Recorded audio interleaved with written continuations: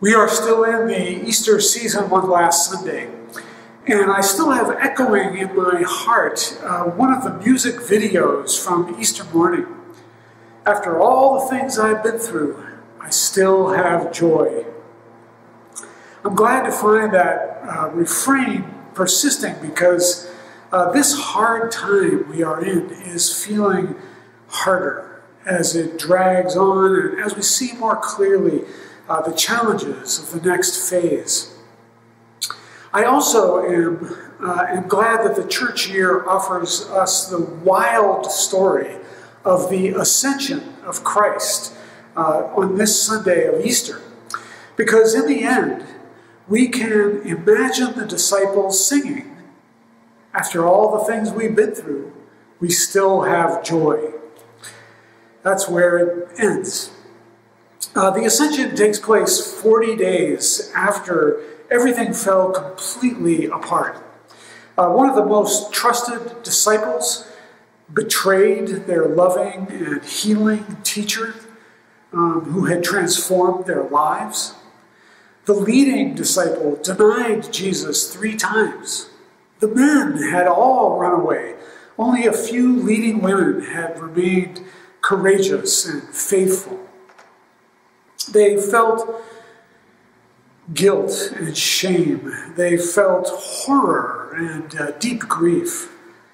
And then Jesus suddenly reappeared, walking through locked doors, turning their sense of reality upside down and cracking it open to reveal powers and realms that they had never imagined.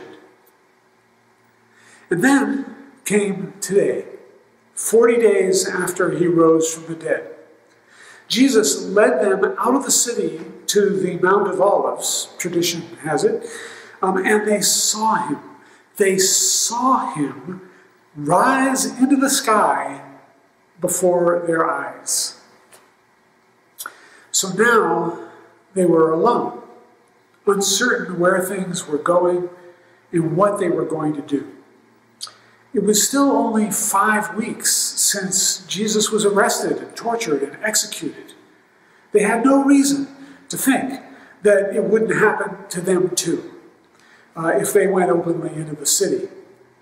And yet, the story in Luke says that after Jesus ascended, the disciples returned to Jerusalem with great joy, and they were continually in the temple blessing God. After all the things I've been through, I still have joy.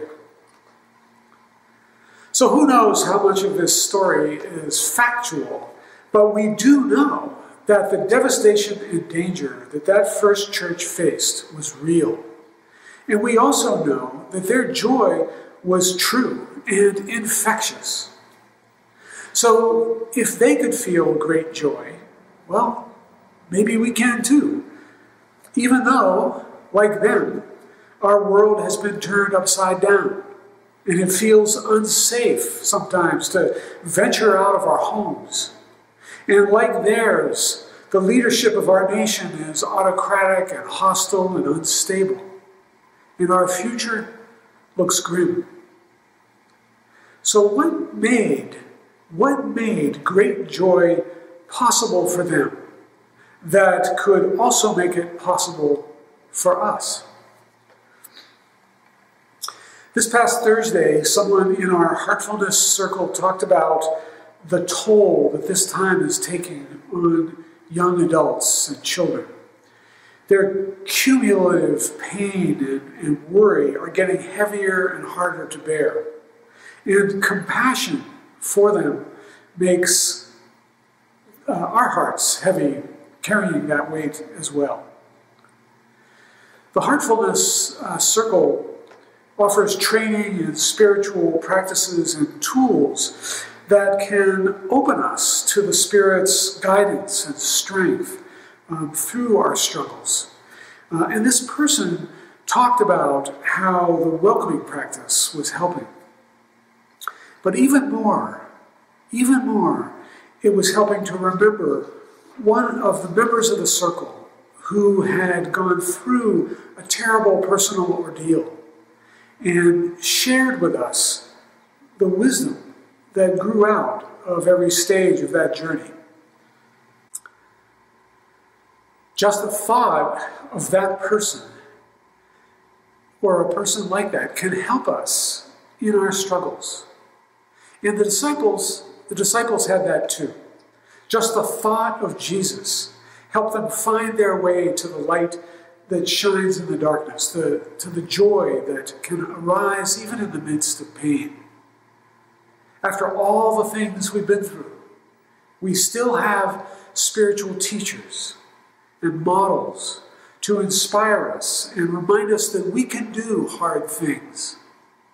After all the things we've been through, we still have the truth that people before us have faced terrible ordeals. And the Holy Spirit has shown them a way through and given them the strength to get there. After all the things we've been through, we still have a vision of what the realm of God on earth could be love of neighbor, the golden rule, unconditional compassion, a global ethic built on those principles that could transform this world to be a place of oneness and harmony with nature and, and with all people. After all the things we've been through, we still have gifts to share. And we still have ways of serving that fill our lives with meaning, purpose, and love.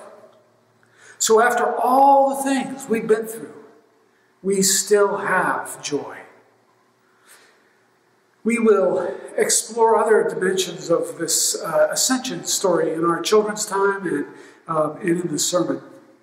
Uh, but here is, uh, here is Mel Goertz's uh, haiku for this week, um, which has its own secrets hidden in it uh, for a, a joyful life. Porcupine in the orchard.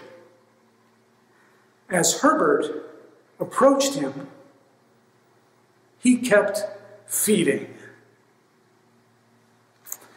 Let us worship together, continuing on with this service.